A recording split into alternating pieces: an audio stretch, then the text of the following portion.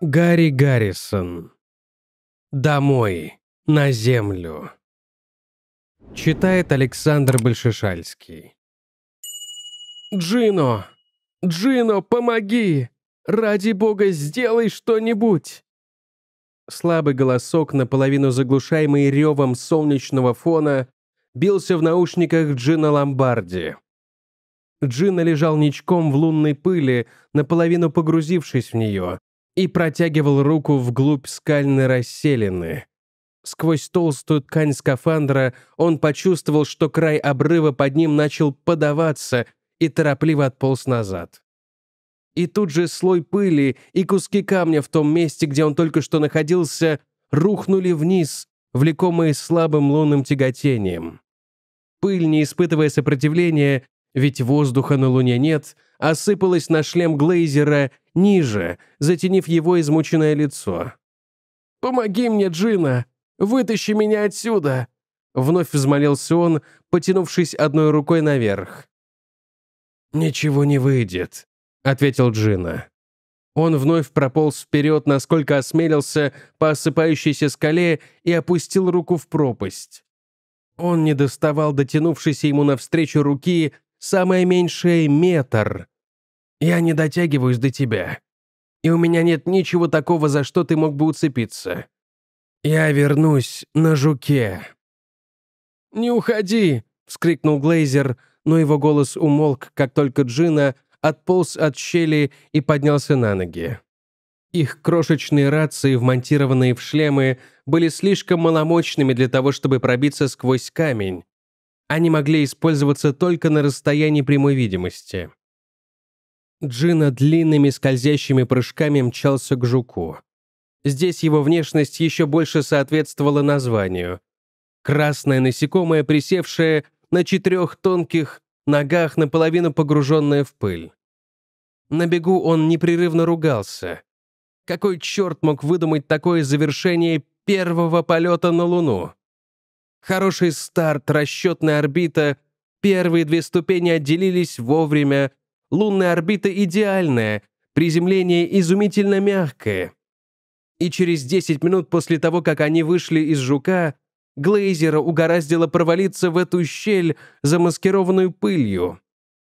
Проделать весь этот путь сквозь бесчисленные опасности космоса, чтобы провалиться в дыру. Это было совершенно несправедливо. Подбежав вплотную к ракете, Джина напрягся, подпрыгнул высоко вверх и ухватился за порог открытого люка кабины, находившегося в верхней части жука. План своих действий он составил еще на бегу. Больше всего надежды у него было на магнитометр. Развернув прибор на стойке, он принялся дергать за длинный кабель, и тот в конце концов оторвался. Джина, не теряя ни секунды, ринулся обратно. Люк кабины находился очень высоко, по земным меркам. Но он, не задумываясь о возможной опасности, спрыгнул вниз, упруго отскочил от поверхности планеты и перекатился. К глубокой ране в груди Луны вел ряд отчетливых следов, и он изо всех сил побежал по этому пути. Он задыхался, несмотря на то, что дышал чистым кислородом. Оказавшись рядом с трещиной, он кинулся на земь и, скользя и извиваясь в пыли, как можно быстрее пополз к ее осыпавшемуся краю. «Все в порядке, Глейзер!» — крикнул он и сам чуть не оглох. С такой силой его голос отдался внутри шлема. «Держи кабель!» Трещина была пуста. Уступ из мягкой породы не выдержал, и Глейзер провалился куда-то вглубь планеты. Долго еще майор Джина Ломбарди лежал там, мигая фарой скафандра в бездонную на вид пропасть, вызывая своего спутника по включенному на полную мощность радио. Единственным ответом ему был треск статических разрядов. Постепенно он начал замечать, что холод остуженных почти до абсолютного нуля камней начал просачиваться сквозь теплоизоляцию его скафандра. Глейзер пропал и с этим ничего нельзя было поделать. После этого Джина методически и безо всякого интереса проделал все, что было запланировано. Он собирал образцы скальных пород и пыли, снимал показания приборов, идеально точно размещенных в тех точках, которые были ему указаны, пробурил скважину и точно в заданное время взорвал в ней заряд. Затем он свел собранные показания приборов в таблицу, и когда при следующем прохождении космический корабль «Аполлон» оказался в зоне видимости, вызвал его по радио. «Дэн, отзовись, Дэн!» «Полковник Дентон Кой, вы меня слышите?» «Ясно и четко», — послышалось из динамика. «Ну-ка, парни, расскажите мне, какое ощущение испытываешь, прогуливаясь по Луне?» Глейзер погиб. Я один. Я собрал все данные и сделал все фотографии, которые требовались. Прошу позволения сократить пребывание здесь против запланированного. Нет никакой необходимости торчать здесь целый день. Несколько долгих секунд из динамика доносилось лишь потрескивание помех, а потом вновь раздался голос Дэна, хорошо знакомый голос, произносивший слова нараспев с техасским акцентом. «Понял тебя, Джина. Ожидай сигнала компьютера. Я думаю, что смогу забрать тебя на следующем витке». Старт с Луны прошел так же безупречно, как и тренировки в имитаторе на Земле а Джина был слишком занят работой за обоих членов экипажа, чтобы иметь возможность думать о том, что произошло. Он едва успел пристегнуться к креслу, когда переданный по радио сигнал корабельного компьютера включил двигатели, которые, обдав яростной струей пламени лунный грунт, подняли жука и понесли его к месту стыковки с двигавшимся по орбите базовым кораблем.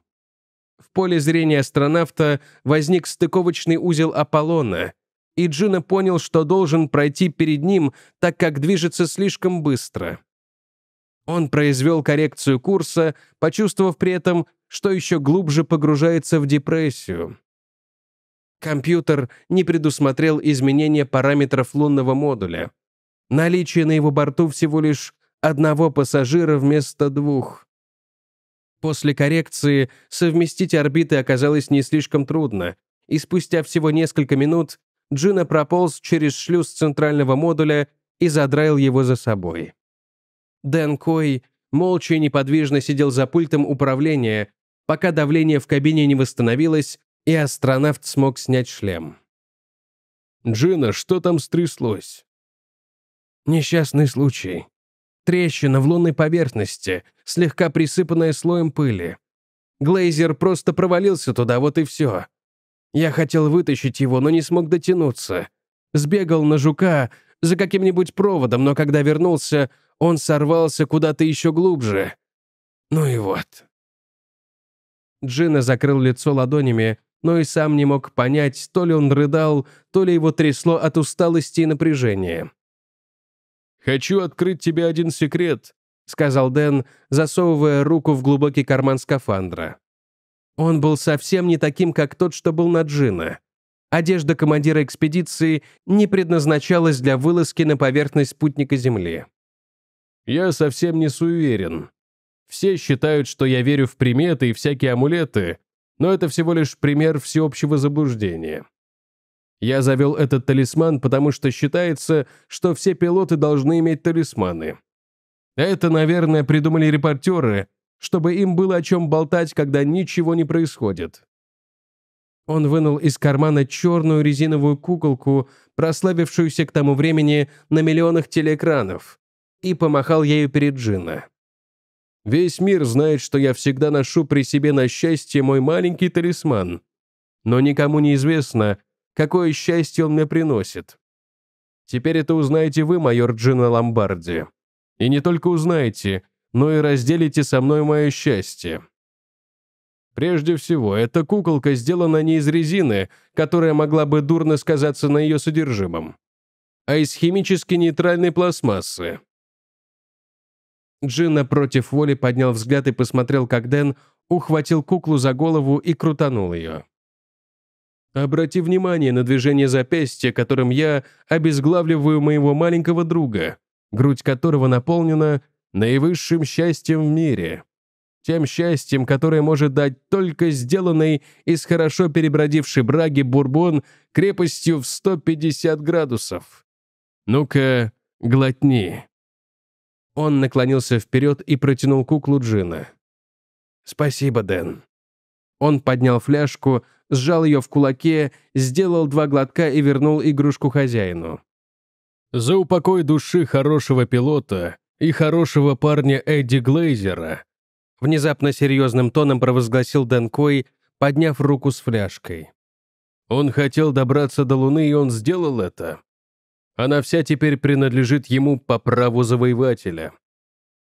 Он выжил из куклы спиртное до последней капли, аккуратнейшим образом приладил голову на место и сунул фигурку в карман. А теперь давай прикинем, как нам лучше установить контакт с центром управления, ввести их в курс дела и вернуться на Землю. Джина включил передатчик, но не стал посылать вызов. Пока пилоты разговаривали, орбита увела их к обратной стороне Луны, и планета теперь надежнейшим образом блокировала любые попытки радиосвязи с Землей. Аполлон описал через темноту заранее измеренную до доли угловой секунды дугу, и астронавты увидели новый восход Солнца над острыми лунными пиками. А затем им вновь явился большой шар Земли. Северная Америка была ясно видна, так что использовать ретрансляторы не было никакой необходимости. Джина передал вызов на мыс Кеннеди и выждал две с половиной секунды. Столько времени требовалось для обмена сигналами на расстоянии в 480 тысяч миль. Но эти секунды давно прошли. Время все тянулось, и пилоты с тревогой следили за секундной стрелкой, весело прыгавшей по циферблату. Они не отвечают. Непрохождение радиоволн, солнечные пятна. Попробуй еще раз. В голосе Дэна внезапно прорезалось напряжение. Центр управления полетами на мысе Кеннеди не ответил и на следующий вызов. Более того, ответа не последовало и на сообщение, переданное на частотах, отведенных для чрезвычайных обстоятельств. Они поймали какие-то переговоры между самолетами на более высоких частотах, но их никто не заметил и не обратил ни малейшего внимания на их непрерывные вызовы. Теперь они смотрели на голубую сферу Земли с ужасом и лишь спустя час, на протяжении которого они в буквальном смысле вспотели, вновь и вновь передавая свои позывные, они согласились признать факт, что по какой-то необъяснимой причине их радиоконтакт со всей планетой оказался нарушен. Что-то случилось за время нашего последнего витка вокруг Луны. Я выходил на связь с ними, пока ты рассчитывал орбиту, констатировал Дэн. Он снял крышку с рации и теперь прикладывал разъемы амперметра к контактам. «Какая-то ерунда». «Только не на нашем конце», — мрачно сказал Джина. «Но там действительно что-то стряслось». «Неужели война?» «Этого нельзя исключить. Но с кем и почему? На неприкосновенных частотах нет ничего необычного. И я не думаю...» «Смотри!» — хрипло выкрикнул Дэн. Огни! Где огни? Во время последнего витка они ясно видели в свой телескоп мерцающие огни американских городов. Но теперь весь континент был совершенно черен. «Джина, погоди. Видишь Южную Америку? Там города светятся. Что могло произойти дома за время всего-навсего одного витка вокруг Луны? Есть только один способ выяснить это. Мы возвращаемся. С помощью или без помощи Земли. Они отстыковались от жука, лунного модуля, пристегнулись к противоперегрузочным креслам и принялись вводить данные в компьютер. Согласно его инструкциям, сориентировали Аполлон в пространстве, еще раз облетели лишенный атмосферы спутник, и в нужный момент компьютер включил двигатели транспортного модуля. Они возвращались домой. Несмотря на множество отрицательных факторов, приземление прошло не так уж плохо. Они попали на нужный континент, причем промахнулись по широте всего лишь на несколько градусов, хотя и вошли в атмосферу раньше, чем намеревались. А если учитывать полное отсутствие наведения Земли, то следовало назвать их приземление великолепным. Капсула своем врезалась в густеющий воздух. Ее огромная скорость начала быстро снижаться, и на авиационном указателе скорости появились вполне разумные цифры. Далеко внизу, сквозь дыры в облачном покрове, проглядывала поверхность Земли. «Скоро вечер», — заметил Джина. «Мы едва успеем приземлиться до сумерек». «Ничего, все равно будет еще достаточно светло. Мы могли приземлиться в Пекине в полночь, так что давай не будем жаловаться. Приготовься, сейчас пойдут парашюты». Один за другим развернулись огромные купола. Капсула дважды вздрогнула. Астронавты откинули забрало шлемов. Спускаемый аппарат спокойно парил в воздушном океане. «Интересно, как нас встретят?» протянул Дэн, потирая ладонью щетину на массивной челюсти. Послышался резкий треск, и в металле верхнего сектора капсулы появился ряд отверстий. Воздух со свистом ворвался внутрь, уравнивая более низкое давление капсулы с наружным. «Смотри!» — крикнул Джина, указывая на темный предмет, мелькнувший в иллюминаторе. Летающий объект был похож на толстую сигару с короткими стреловидными крыльями и на фоне солнца казался черным. Затем он прокрутил восходящую бочку, казалось, что он покрыт серебристой обшивкой, и, заложив крутой вираж, вновь устремился к беспомощно висевшей на парашюте капсуле. Незнакомый самолет приближался, быстро увеличиваясь в размерах. Возле основания крыльев бились алые всплески огня. Иллюминатор затянуло серым. Капсула вошла в облако. Астронавты молча смотрели друг на друга. Никто не хотел говорить первым. «Реактивный самолет», — наконец сказал Джина. «Я никогда еще не видел такого». «Я тоже. Но там было кое-что знакомое. Скажи-ка, ты разглядел крылья? Ты видел...» «Если ты говоришь о черных крестах на крыльях, то да, я их видел, но не собираюсь верить своим глазам. Вернее, не поверил бы, но он убедил меня, проделав в нашем корпусе новые внештатные воздухозаборники. А у тебя есть какие-нибудь соображения по этому поводу? Нет. Но мне кажется, что мы достаточно скоро все узнаем. Приготовься к приземлению. Осталось всего 600 метров. Самолет больше не появлялся. Они подтянули привязанные ремни и застыли, ожидая встречи с землей. Она оказалась довольно жесткой, капсула резко стукнулась с днищем, перекосилась и задергалась. «Отстрел парашюта», — приказал Дэнкой. «Нас несет». Джина повернул рукоять прежде, чем Дэн успел договорить фразу. Рывки прекратились, и капсула медленно встала вертикально. «Свежий воздух», без выражения протянул Дэн и включил отстрел люка. Круглая крышка отскочила, на ребре покатилась по земле и, покрутившись, упала. Пока они отсоединяли от своих скафандров многочисленные провода и разъемы, горячий сухой воздух заполнил капсулу, принеся с собой пыльный запах пустыни. Дэн поднял голову и фыркнул. «Пахнет домом. Давай-ка вылезем из этой коробки. Полковник Дентон Кой вышел первым, как приличествует командиру первой американской экспедиции «Земля-Луна». Майор Джина Ломбарди последовал за ним. Они молча стояли бок о бок, глядя на закатное солнце, ярко сверкавшее на их серебряных скафандрах. Вокруг них, насколько хватало глаз, тянулись чахлые заросли сероватых пустынных кустарников, среди которых выделялись кактусы и мескитовые деревья. Ничто не нарушало тишину, нигде не было видно ни малейшего шевеления. Лишь ветер уносил облачко пыли, поднятое капсулой при посадке. «Хороший запах, прямо как у нас в Техасе», заявил Дэн, шумно вдохнув носом. «Кошмарный запах. У меня от него сразу разыгралась жажда. Но, Дэн, что же все-таки случилось? Сначала потеря связи, потом этот самолет». «А вот и ответ на подходе», — внешне спокойно сказал полковник, указывая на быстро удлинявшуюся от горизонта в их сторону полоску пыли. «Незачем строить предположения.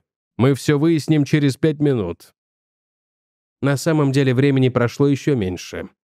К ним с ревом подлетел, выкрашенный в песочный камуфляжный цвет, большой полугусеничный вездеход-фургон, сопровождаемый двумя бронетранспортерами поменьше. Машины резко остановились невдалеке, в облаке собственной пыли. Дверь вездехода распахнулась, и оттуда выпрыгнул человек в защитных очках. На ходу он брезгливо отряхивал пыль со своего ладно сидящего черного обмундирования. «Хандахох!» — крикнул он, указывая на повернувшиеся в сторону астронавтов тяжелые пулеметы, установленные на турелях на кабинах бронетранспортеров. «Руки вверх и не опускать! Вы мои пленники!» Они медленно подняли руки, словно загипнотизированные, пожирая глазами детали униформы. Серебряные зигзаги молний на петлицах, высокая, да к тому же изогнутая вверх фуражка с кокардой, хищный орел, сжимающий в когтях свастику. «Вы... вы немец», — задыхаясь, пробормотал Джина Ломбарди. «Очень точно подмечено», — без тени юмора ответил офицер. «Я Гауптман Лангеншайд, а вы мои пленники и будете повиноваться моим приказам. Садитесь в Крафтваген». «Подождите минуту», — возразил Дэн. «Я полковник Кой, ВВС США, и я хотел бы узнать, что здесь происходит». «В машину», — приказал офицер. Он не повысил голоса, зато вынул из кобуры длинный люгер и, держа пистолет в согнутой руке, направил его на астронавтов. «Пойдем», — сказал Джина. Он положил руку на плечо Дэна и почувствовал, как его друг напряжен. «Ты старше его в звании, но, похоже, он здесь главный». Они вскарабкались в открытую заднюю дверь фургона. Капитан Немец забрался следом, указал, куда им сесть, а сам сел впереди лицом к пленникам. Двое молчаливых солдат с автоматами наперевес заняли места у них за спинами. Гусеницы лязгнули, и машина тронулась с места, вздымая густую тучу пыли. Джина Ломбарди никак не мог воспринять происходившее как действительность. Полет на Луну, посадка, даже гибель Глейзера — все это были реальные и понятные события. Но дальше... Он посмотрел на часы. В окошечке календаря виднелось число 12. «Только один вопрос, Лангеншайд», — повысил он голос, стараясь перекричать рев двигателя. «Сегодня 12 сентября». Ответом послужил резкий кивок. «А год?» «Год точно 1971». «Да, конечно, и хватит вопросов. Вы будете говорить с главным, а не со мной». После этого астронавты сидели молча и лишь старательно щурились, пытаясь уберечь глаза от пыли. Спустя несколько минут машина свернула в сторону и остановилась. В противоположном направлении с тяжелым грохотом протащилось длинное тяжелое тело трейлера для перевозки танков. Очевидно, немцы жаждали заполучить капсулу ничуть не меньше, чем ее пилотов. Пропустив платформу с краном, вездеход двинулся дальше. Уже темнело, когда они увидели впереди контуры двух больших танков. Их орудия сопровождали переваливавшуюся в неровных колеях бронемашину. Позади дозорных машин оказался целый парк различной техники, а также множество палаток. В вырытых в песке окопах ярко пылали паяльные лампы. Вездеход остановился перед самой большой палаткой, и двоих астронавтов под прицелом автоматов провели внутрь. За складным столом спиной к вошедшим сидел офицер и что-то писал. Не обращая на них внимания, он закончил, сложил бумаги, убрал их в папку и лишь потом повернулся. Это был очень худой человек. Он не сводил горячего взгляда с пленников, пока капитан быстро рапортовал по-немецки. «Это чрезвычайно интересно, Лангеншайд. Но мы не должны заставлять наших гостей стоять. Прикажите ординарцу принести стулья. Господа, позвольте мне представиться. «Я полковник Шнейдер, командир 109-й бронетанковой дивизии, которой вы оказали честь своим визитом. Сигарету?» Уголки губ полковника чуть заметно приподнялись. Вероятно, это должно было означать улыбку. И тут же рот вновь вытянулся в тонкую прямую линию. Взяв со стола плоскую пачку сигарет «Плеер», он протянул ее Джина. Тот автоматически принял их. Вытряхивая сигарету из пачки, он заметил, что они были сделаны в Англии, но этикетка напечатана на немецком языке. «Уверен, что вы с удовольствием выпьете виски», заявил Шнейдер, снова продемонстрировав свою деланную улыбку. Он поставил на стол бутылку Old Highlander. Джина впился взглядом в этикетку. На ней красовался знакомый горец с волынкой и в шотландском килте. И он сообщал по-немецки. «Ich hatte Jam etwas zu trinken whisky». Солдат ткнул его сиденьем стула под колени, и Джина с огромным облегчением опустился на сиденье. Ему вручили стакан. Он отхлебнул и с первого же глотка почувствовал, что это хорошая шотландская виски. Ординарец вышел, а полковник откинулся на спинку стула и тоже взял со стола высокий стакан виски со льдом. Единственным напоминанием о том, что астронавты находятся в плену, служила застывшая возле входа безмолвная фигура капитана, державшего руку на рукояти, лежавшего в кобуре пистолета. «Вы, господа, прибыли на очень интересном транспортном средстве. Наши технические эксперты, конечно, изучат его, но у меня есть вопрос». «Я полковник Дантон Кой. Военно-воздушные силы Соединенных Штатов. Личный номер...» «Прошу вас, полковник», — прервал его Шнейдер мы можем обойтись без этих формальностей. Майор Джованни Ломбарди, военно-воздушные силы Соединенных Штатов, выпалил Джина и тоже назвал свой личный номер. Немецкий полковник снова приподнял уголки губ в улыбке и сделал крошечный глоток из стакана. «Не пытайтесь сделать из меня дурака», — внезапно сказал он, и впервые в его голосе прорезалась холодная властность, соответствовавшая его мрачному облику. Вам придется подробно объясняться в гестапо, так что вы можете сначала рассказать все это мне. Не хватит ваших ребяческих игр. Я не знаю никаких американских военно-воздушных сил. Только ваш армейский авиакорпус, который поставляет такие прекрасные цели для наших летчиков. А теперь, что вы делали в этом устройстве?»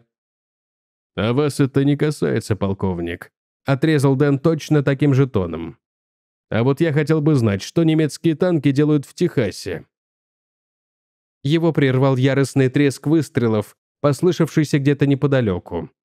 Затем последовали два оглушительных взрыва. Вход в палатку озарился отдаленным заревом. Капитан Лангенштайт выхватил пистолет и опрометью выскочил из палатки, а все, кто в ней остался, вскочили на ноги. Снаружи раздался приглушенный крик, и в палатку ворвался человек, он показался обоим астронавтам огромным, одетый в пестрый камуфляжный костюм. Его лицо было вымазано чем-то черным, и руки, в которых он держал большой, незнакомого образца пистолет, направленный на находившихся в палатке, тоже был черным. «Вердамен», — выругался полковник и потянулся за своим оружием. Пистолет новоприбывшего дважды дернулся и издал два похожих на вздохи звука — командир танковой дивизии схватился за живот, сложился вдвое и рухнул на пол. «Вы, парни, только не стойте с раскрытыми ртами!» — негромко прикрикнул новый посетитель. «Давайте-ка убираться отсюда, пока сюда не приперся еще кто-нибудь!» С этими словами он повернулся и быстро вышел из палатки, а астронавты последовали за ним. Они проскользнули за ряд грузовиков, выстроенных в идеальную линию, и присели там, а толпа солдат в железных касках пробежала мимо, направляясь на звук перестрелки. В треск автоматов вмешались орудийные выстрелы, а зарево, кажется, стало ослабевать. «Это всего-навсего диверсия. Шестеро парней, которые наделали шума на 60 человек», прошептал их спаситель, наклонившись к астронавтам. «Всего лишь подорвав один из бензовозов. Но эти кочанные головы быстро раскумекают, что к чему и устроят на нас пешую облаву. Так что делаем ноги, да поживее!» Он первым выскочил из укрытия, и все трое ринулись в темную пустыню. Пробежав всего несколько метров, астронавты начали спотыкаться, но упорно бежали, пока чуть ли не кубарем скатились в небольшой овраг, где в ночной тьме выделялась еще более темная масса — джип. Мотор заработал, как только трое людей ввалились в машину. Джип, не зажигая огней, выполз из оврага и с хрустом попер через сухие кусты. «Вам повезло, что я видел, как вы опускались», сказал с переднего сиденья их освободитель. «Я лейтенант Ривз». «Полковник Кой, а это майор Ломбарди. Просто невозможно выразить, как мы благодарны вам, лейтенант. Когда эти немцы захватили нас, мы просто не в силах были заставить себя в это поверить. Откуда они взялись? Только вчера прорвались из кольца блокирующего корпус. А я с моим патрулем крался за ними следом и извещал Сан-Антонио о движении колонны. Поэтому-то я и увидел, как ваш корабль, или что это там такое, весь раскрашенный звездами и полосами, снижается прямо перед носом их разведчиков. Я попытался добраться до вас первым, но был вынужден повернуть, потому что взвод их разведчиков опередил меня. Но так, пожалуй, вышло еще удачнее. Как только стемнело, мы захватили транспортер для перевозки танков, и двое моих раненых сейчас гонят его в Катуллу, где мы получим боеприпасы и транспорт. Остальных парней я заставил провести эту диверсию. Вы сами знаете ее результат. Ну а вы, наездники из воздушного корпуса, должны повнимательнее следить за ветром и прочими штучками погоды. А то все ваши хитрые новые выдумки так и будут падать во вражеские руки. Вы сказали, что немцы прорвались из корпуса. Это корпус Кристи-1? Спросил Дэн. Что они там делают? Как долго они там находятся? И самое главное, откуда они взялись? «Вы, летуны, наверное, отсиживались в какой-нибудь очень глубокой дыре», ответил Ривз и громко ухнул.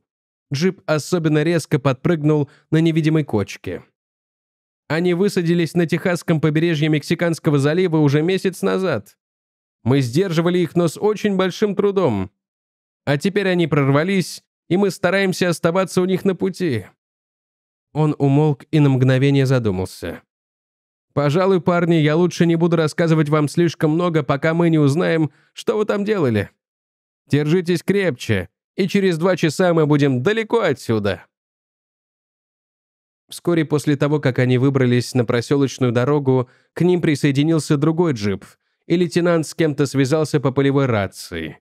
Затем оба автомобиля помчались на север, миновали множество противотанковых рвов и артиллерийских позиций, и, наконец, въехали в небольшой городок Катулу, уцепившийся за шоссе, ведущее в Сан-Антонио. Астронавтов отвели в заднюю часть местного универмага, где размещался командный пункт. Здесь было много галунов, лампасов, орденов и вооруженной охраны, а за столом сидел генерал с одной звездой на погоне и воинственно выдвинутым вперед могучим подбородком.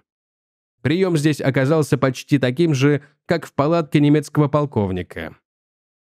«Кто вы такие, вы оба? Что вы здесь делаете? И что это за непонятная штука, на которой вы прилетели?» Строгим голосом спросил генерал. Дэн сам имел множество вопросов, на которые желал немедленно получить ответы. Но он знал, что на свете нет, пожалуй, более бессмысленного занятия, чем спорить с генералом. Он рассказал о полете на Луну, о потере связи, о возвращении. На протяжении всего повествования генерал не сводил с него внимательного взора, а на лице его ничего нельзя было прочесть. Он не произнес ни слова, пока Дэн не закончил, и лишь потом заговорил. «Джентльмены, я не знаю, как отнестись ко всему этому рассказу о ракетах, полетах на Луну, русских спутниках и тому подобном. Или вы оба безумны, или я спятил, хотя нельзя не признать, что на трейдере лежит убедительное доказательство истинности вашей совершенно невероятной истории. Я сомневаюсь, что у русских теперь, когда их армии рассечены на части и оттесняются в Сибирь, есть время или ресурсы для развития ракетной техники. Все остальные страны в Европе сдались нацистам, и они перенесли войну в это полушарие. Устроили базе в Центральной Америке, заняли Флориду и множество плацдармов на побережье залива. Я не стану притворяться, будто понимаю, кто вы такие и что с вами произошло. И поэтому утром отправлю вас в Денвер, столицу штатов. На следующий день в самолете, где-то высоко над пиками скалистых гор, они пытались сложить воедино части головоломки. Лейтенант Ривз летел с ними, якобы как сопровождающий, но его пистолет наготове лежал в расстегнутой кобуре. «Сейчас то же самое время и тот же самый мир, из которого мы улетали», объяснил ему Джина. «Но имеется много различий. Слишком много. Их становится все больше и больше, пока в конце концов все не изменяется радикально. Ривз, ведь это вы сказали мне, что президент Рузвельт умер, не дождавшись окончания своего первого срока. Да, от пневмонии. Он никогда не отличался слишком крепким здоровьем и умер, не пробыв и года на своей должности. У него было много различных диковинных проектов, но ни из одного не вышло толку. Вице-президент Гарнер, он всегда был таким, каким был, и естественным образом пришел к нынешнему состоянию. Хотя я признаю, что тот вариант истории, о котором вы говорили, кажется лучше. Но если нужно выбирать, кто сошел с ума, целый мир или вы, то я выбираю вас. Не знаю, какого рода эксперимент поставили над вами птицы более высокого полета, но в результате у вас, похоже, протухло серое вещество». «Я этого не приму», — продолжал горячиться Джина. «Знаю, что со стороны кажется, будто у меня шарики за ролики заехали, мне и самому так иногда начинает казаться. Но я всякий раз вспоминаю о капсуле, в которой мы приземлились. Как вы собираетесь объяснить это? Я и пытаться не стану. Я знаю, что в ней имеется много приборов и устройств и других штуковин, за которые инженеры и университетские профессора будут выдирать друг у друга последние патлы. Но меня это нисколько не волнует. Я возвращаюсь на войну, где стреляют и где дела гораздо проще. И пока не доказано обратное, я буду думать, что вы, джентльмены, оба спятили. Если, конечно, можно употреблять такое выражение к старшим офицерам. Официальная реакция в Денвере оказалась примерно такой же. Штабной микроавтобус, набитый охранниками из военной полиции, подкатил к трапу самолета, как только он приземлился на аэродроме Лоури-Филд и доставил астронавтов прямиком в госпиталь Фитц-Симмонс. Без долгих объяснений их подвергли лабораторным обследованиям, и, должно быть, добрая половина штата гигантской больницы принялась брать у них анализы, подсоединять электроды и задавать вопросы. Их много раз заставили рассказывать о своем полете и о своем мире, очень часто при этом подключали датчики детектора лжи, но ни на один из их вопросов не отвечали. Время от времени их угрюмо рассматривали невесть, откуда приезжавшие высокопоставленные офицеры, но никто из них не принимал участия в допросах. Они наговаривали многочасовые монологи в магнитофоны, отвечали на вопросы, касавшиеся самых различных областей знания, начиная от истории, кончая физикой, а когда они изнемогали, им давали бензодрин и заставляли продолжать. Больше недели они встречались только случайно в коридорах по дороге к кабинетам, где их обследовали и допрашивали. И в конце концов они уже начали падать с ног от усталости и потеряли способность соображать от стимуляторов и других лекарств. На их вопросы все так же не отвечали и лишь убеждали не тревожиться и уверяли, что как только закончится обследование, о них позаботятся. А когда плавный ход событий нарушился – это оказалось долгожданным сюрпризом, причем, очевидно, неожиданным для всех. Джина вел очередную беседу, на сей раз с мобилизованным профессором истории, носившим на залитом соусом кителе полевой формы блестящие пластинки капитана. Охрипший после многодневного, почти непрерывного допроса Джина держал микрофон, почти прижимая его губам, и говорил шепотом. «Вы можете сказать мне, кто был министр финансов при Линкольне?» — спросил капитан. «Какого дьявола я должен это знать? И очень сомневаюсь, что в этой богадельне найдется хоть один человек, который знал бы это, кроме вас. А вы знаете?» «Ну, конечно».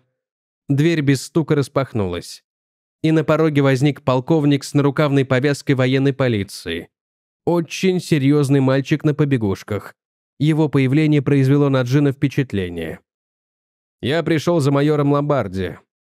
«Вам придется подождать», — возразил капитан-историк, наматывая на кулак свой и так уже ни на что не похожий галстук. «Я еще не закончил. Это не важно. Майор немедленно отправится со мной.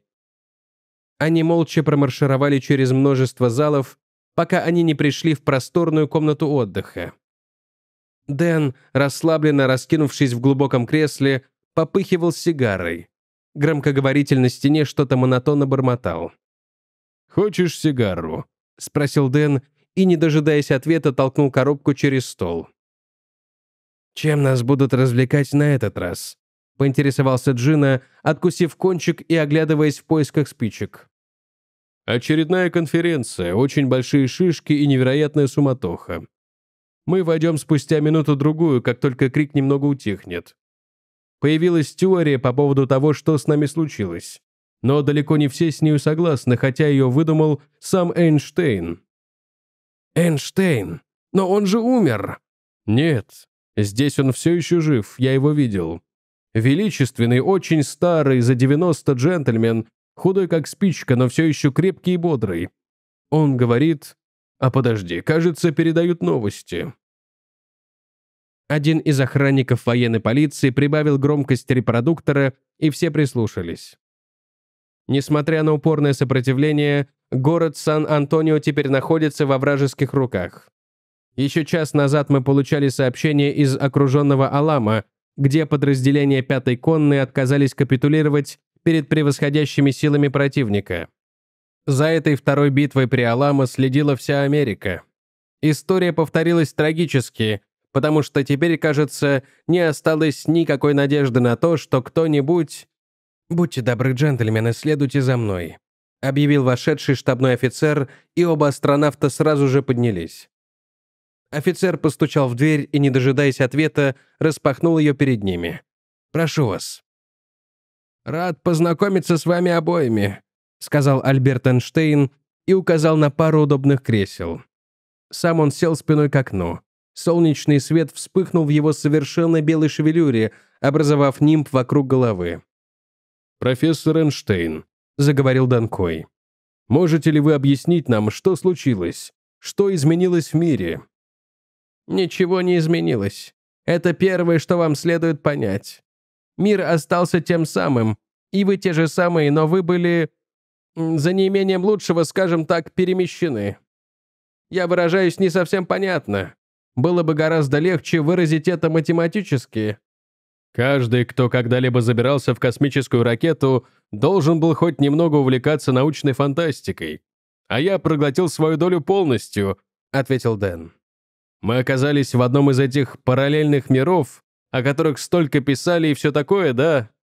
Нет, с вами произошло совсем не это. Хотя, возможно, вам будет легче представить себе случившееся, пользуясь этими словами. Вы находитесь в том же самом объективном мире, который покинули. Но субъективно он не тот же самый. Существует только одна галактика, та, в которой мы обитаем, и только одна Вселенная. Но наше представление о ней изменяет многие из аспектов действительности. «Я ничего не понимаю», вздохнул Джина. «Давайте посмотрим, удалось ли мне понять», — предложил Дэн.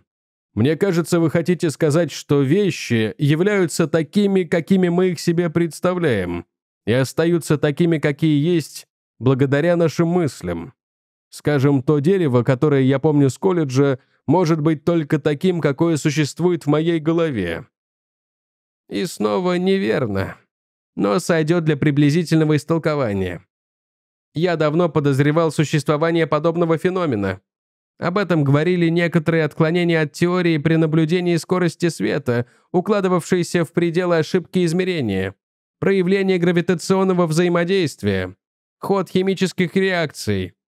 Я кое-что подозревал, но не знал, где искать. И сейчас, господа, пользуясь случаем, хочу поблагодарить вас от всей души за то, что вы на исходе моей жизни предоставили мне такую возможность дали мне в руки ключ, при помощи которого я смогу найти решение этой проблемы». «Решение?» Джина непроизвольно раскрыл рот. «Вы хотите сказать, что у нас есть шанс вернуться в знакомый нам мир?» «Не просто шанс, а самая реальная возможность. То, что произошло с вами, было всего лишь несчастным случаем. Вы оказались вдали от своей родной планеты, вне ее атмосферного покрова, а на некоторых отрезках орбиты даже вне ее поля зрения. Ваше ощущение реальности оказалось ужасно напряженным, а ваша физическая реальность и реальность ваших умственных представлений оказались измененными смертью вашего товарища. Все эти факторы, объединившись, сделали так, что вы вернулись в мир, реалии которого несколько отличаются от реалий того мира, который вы покинули. Историки точно определили точку перелома. Он произошел 17 августа 1933 года, в тот самый день, когда президент Рузвельт умер от пневмонии. «Ах, так вот к чему были все эти медицинские вопросы, касавшиеся моего детства», – протянул Дэн. В возрасте пары месяцев я заболел воспалением легких и чуть не умер. Мать потом довольно часто вспоминала об этом. Это могло произойти в то же самое время, но ведь невозможно, чтобы я выжил, а президент поэтому умер. Эйнштейн покачал головой. Нет. Вы должны помнить о том, что оба жили в том мире, который знали. Динамика отношений пока еще далека от ясности, хотя я не сомневаюсь, что существует какая-то двухсторонняя взаимосвязь. Но это не важно. А важно вот что.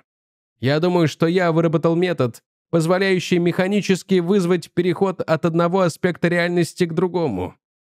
Потребуются годы, чтобы развить его, чтобы научиться переносить вещество из одной реальности в другие на выбор, но и сейчас, я уверен, он достаточно жизнеспособен, чтобы возвратить обратно вещество, прибывшее из другой реальности. Джина вскочил на ноги так, что кресло опрокинулось. «Профессор, если я вас правильно понял, вы хотите сказать, что можете запихнуть нас обратно, туда, откуда мы прибыли?» Эйнштейн улыбнулся. «Не волнуйтесь так, майор. Да, уже приняты все меры для того, чтобы как можно скорее вернуть обратно и вас обоих, и вашу капсулу. Но взамен мы просим вас о помощи». «Ну, конечно. Все, что в ваших силах», — сказал Дэн, подавшись вперед. «Вы возьмете с собой аппарат изменения реальности и микрокопии наших трудов по истории, научных теорий и практических разработок. В том мире, откуда вы прибыли, можно будет бросить все силы исследователей и разработчиков на то, чтобы научиться по желанию осуществлять то перемещение, которое вам однажды удалось случайно. Вы сможете сделать это за несколько месяцев. Это все время, которое у нас осталось. Что вы имеете в виду? Мы проигрываем войну. Несмотря на все предупреждения, мы не были подготовлены к ней и считали, что она никогда до нас не доберется. Нацисты наступают на всех фронтах. Их победа является только вопросом времени. Мы тоже пока еще можем победить, но только при помощи ваших атомных бомб». «У вас еще нет атомной бомбы?» – удивился Джина. Эйнштейн несколько секунд молчал и лишь потом ответил. «Нет, такой возможности не оказалось. Я всегда был уверен, что ее можно сделать, но никогда не думал над практическим решением этого вопроса. Немцы чувствовали то же самое и одно время даже начали разрабатывать тяжеловодный проект, направленный на осуществление управляемой ядерной реакции. Но их военные успехи оказались настолько велики, что они отказались от этой работы, как, впрочем, и от многих других неправдоподобных и дорогих планов, таких, например, как подземные ходы глобального масштаба. Сам я никогда не хотел видеть эту адскую машину, воплощенной в действительность. А теперь, после ваших рассказов, понимаю, что она еще ужаснее моих умозрительных представлений о ней. Однако, когда нацистская угроза стала реальной, я обратился к президенту с предложением о ее разработке. Но ничего так и не было сделано. Решили, что это слишком дорого. А теперь стало слишком поздно хотя при нынешнем стечении обстоятельств, возможно, удастся успеть. Если ваша Америка поможет нам, враг будет побежден. А какое неимоверное богатство знаний мы сможем получить, если между нашими мирами удастся установить контакт? Вы сделаете это?» «Да, конечно», — ответил Дэнкой. Но дядя из правительства потребует множество доказательств. Я предлагаю сделать несколько кинофильмов, в которых вы и еще кто-нибудь из самых знаменитых ученых выступили бы с объяснениями. И добавить документы, которые помогут убедить их в реальности случившегося. «Я могу сделать кое-что получше», сказал Эйнштейн, вынимая из ящика стола маленькую бутылочку. Здесь недавно созданный лекарственный препарат, который, как доказали опыты, является эффективным при лечении ряда тяжелых форм раковых заболеваний, и его формула. Это пример возможной выгоды от обмена информацией между двумя нашими мирами. А если такой обмен станет постоянным, то одному только Богу известно, во что это может вылиться. Дэн аккуратно положил драгоценную бутылочку в карман, и оба астронавта поднялись. С благоговейным страхом они обменялись осторожными рукопожатиями с древним стариком, который в их мире, куда, как им стало известно, они скоро вернутся, скончался много лет назад. Военные повсюду умеют работать быстро. Большой реактивный бомбардировщик был быстро переоборудован для транспортировки одной из американских твердотопливных боевых ракет. Это оружие еще не успели окончательно доработать, и было сомнительно, что им удастся воспрепятствовать движению нацистской армии. Но учитывая, что бомбардировщик поднимет ее на значительную высоту, она могла выйти за пределы ионосферы и увести на орбиту спутника Земли полезный груз в виде лунной капсулы с двумя пилотами.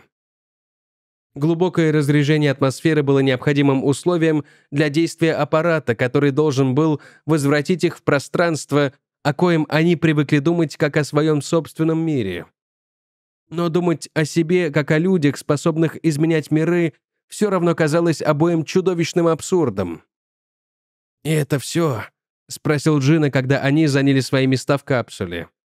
Между ложементами пилотов был закреплен квадратный ящик, в котором содержались записи и катушки кинофильмов. А поверх него стояла небольшая серая металлическая коробка. «А что ты ожидал увидеть? Может быть, ускоритель диаметром в 5 миль?» — спросил Дэн, не отрываясь от знакомой процедуры проверки систем. Капсула была, насколько возможно, приведена к тому же состоянию, в котором она находилась в день приземления. Астронавты оделись в свои скафандры. Мы оказались здесь совершенно случайно. Только из-за того, что неправильно думали, ну или что-то в этом роде. Если я вообще верно понял всю эту теорию. Конечно. Так что мы не можем позволить этой ерунде снова сбить нас с толку. Ну да, я понимаю, что ты хочешь сказать. Все эти безумные дела могут быть сколь угодно сложными, зато механизм должен быть простым и все, что от нас требуется, это в нужный момент перебросить тумблер». «Вас понял, командир. Эта штука имеет автономное питание. За нами будут следить радаром, и когда мы достигнем апогея орбиты, они подадут нам сигнал на нашей обычной рабочей частоте. Мы щелкаем выключателем и идем на посадку». «Надеюсь, что посадка будет там, откуда мы вылетели в первый раз». «Эй, груз, привет!» Раздался хриплый голос из динамика. «Говорит пилот. Мы готовы отчалить. Как у вас дела?» «Все лампочки зеленые», — доложил Дэн и вновь откинулся в кресле. Огромный бомбардировщик с ревом пронесся по всей длине взлетно-посадочной полосы и медленно, тяжело, ему мешала большая ракета, закрепленная под брюхом, поднялся в воздух. Капсула находилась в носовой части ракеты, и астронавты могли видеть лишь светлую обшивку самолета-носителя. Это был не слишком приятный полет. Математики рассчитали, что вероятность успеха будет наибольшей в районе Флориды и Южной Атлантики, где произошел первоначальный переход в иную реальность. А для этого следовало преодолеть вражескую территорию. Пассажиры не могли видеть воздушного боя, который вели сопровождавшие их реактивные истребители а пилот наспех переделанного бомбардировщика не стал ничего говорить им. Это был жестокий бой, который мог в один из моментов закончиться плачевно. Только самоубийственный таран, предпринятый одним из истребителей, помешал вражескому самолету в упор расстрелять самолет-носитель. «Приготовиться к отделению», — прохрипело радио, и мгновением позже астронавты ощутили Знакомое чувство невесомости. Ракета отделилась от самолета. Тут же запрограммированный компьютер включил зажигание, и ракета пошла на расчетную орбиту. Ускорение прижало астронавтов к креслам. Внезапному возвращению к невесомости предшествовала серия мелких взрывов. Это самоуничтожались болты, крепившие капсулу к ракете-носителю. В течение времени, которое показалось астронавтам неизмеримо долгим, инерция несла их дальше по орбите, а сила земного притяжения тащила назад. В динамике радиоприемника потрескивал фон несущей частоты, в который вдруг ворвался голос. «Приготовиться к включению! Руку на ключ! Пошел!» Дэн щелкнул выключателем, и ничего не произошло. Во всяком случае, ничего такого, что они могли бы почувствовать. Они молча посмотрели друг на друга, а затем, не сговариваясь, перевели взгляд на высотомер, показывавший, что они снижались к отдаленной земле. «Приготовиться к выходу парашютов», — напряженно скомандовал Дэн, и в это мгновение динамик взорвался оглушительным криком. «Эй, Аполлон, это вы! Это центр управления с мыса Кеннеди. Вы слышите меня? Повторяю, вы слышите меня? Отвечайте, если можете, ради всего святого. Черт возьми, Дэн, где вы там? Эй, есть там кто-нибудь?» Голос захлебывался звуками, в нем явственно улавливалась истерика. Дэн щелкнул кнопкой переговорного передатчика. «Дэн Кой здесь. Это вы, скипер?» «Да, но откуда вы взялись? Где вы пропадали?» «Отбой вопроса. Отбой до приземления. Мы видим вас на экране, вы летите в море, в район патрулирования судов». Астронавты посмотрели друг другу в глаза и улыбнулись. Джина поднял большой палец. «Победа! У них получилось. Они сделали это. За вновь обретенной сдержанностью голоса Центра управления они чувствовали восторженное волнение, которое должно было породить их неожиданное возвращение. Для наблюдателей на Земле, этой Земле, они наверняка скрылись за диском Луны и не появились из-за него. А теперь совершенно неожиданно появились, по прошествии нескольких недель, после того, как у них давно должны были закончиться и кислород, и продовольствие. Им потребуется очень много раз и подолгу все объяснять. Приземление получилось просто безупречным. Солнце сияло, ветра почти не было, море было совершенно гладким. Спустя 2-3 секунды после приводнения капсула выскочила на поверхность, и астронавты увидели в иллюминатор ласковые крошечные волны. Всего в нескольких милях над водой поднималась громада крейсера, уже мчавшегося в их направлении. «Ну, все кончено», — с глубоким вздохом облегчения сказал Дэн, отстегивая привязные ремни. «Кончено», — приглушенно прохрипел Джина. «Кончено. А ты посмотри на флаг». Крейсер описывал крутую дугу, и кормовой флаг гордо развернулся перед астронавтами. Красные и белые полосы, 50 белых звезд на поле глубокого синего цвета. А среди звезд в центре синего прямоугольника сверкала золотая британская корона. Большое спасибо за прослушивание этого ролика. Если вам понравилось, я буду очень признателен, если вы напишите комментарий, даже просто сердечко или огонечек. Это поможет Ютубу понять, что это видео можно предлагать посмотреть другим зрителям. Неравнодушные люди, желающие поддержать меня и мой канал финансово, могут это сделать по реквизитам в описании. Спасибо всем большое.